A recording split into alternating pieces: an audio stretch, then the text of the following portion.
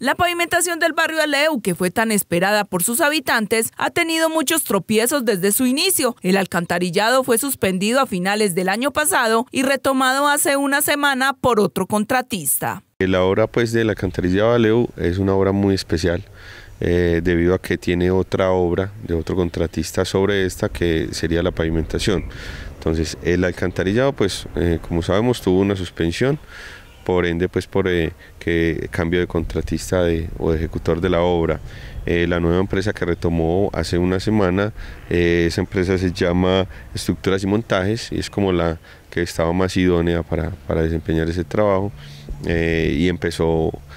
haciendo un avance fuerte, realizó un avance más o menos del 10%, empezó para habilitar pues el proceso de la pavimentación, que es eh, otro contrato distinto, sería eh, realizando unos MHs eh, en la, sobre la carrera 29 y con muy buen material, o sea, se tiene ya en bodega pues por parte del contratista, tiene tuberías de 12, 10, de 8, de 6 pulgadas y se plantea generar un avance rápido y, fuerte en el tema de, vial y también empezar a generar esas, esas conexiones de acometidas. Con la visita técnica realizada por el alcalde municipal, contratistas, interventores y empresas públicas de Urrao, se espera que en pocos días se pueda pavimentar los baches de la carrera 29 y así dar apertura a la vía principal y las intersecciones, lo que permitiría mejorar la movilidad en el sector hicimos mesa técnica con cada uno de, los contratistas en cada proceso o en cada obra. Hoy pues ya estamos reactivando cada una de las de las de las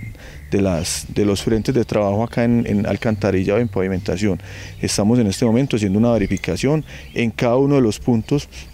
con el fin de que ambos contratistas, alcantarillado y pavimentación, se puedan articular y de manera armónica puedan ir avanzando y ir entregando tramos. Rápidamente podremos eh, entregar esta vía principal a la comunidad y ya eso nos da un espacio para que podamos seguir trabajando sobre las demás vías y no causar eh, molestias a, a la comunidad en general. El proyecto de alcantarillado a la fecha solo va en el 29%. Su ejecución ha tomado más tiempo de lo estimado, pero con la llegada del nuevo contratista espera que puedan agilizar permitiendo que la pavimentación continúe.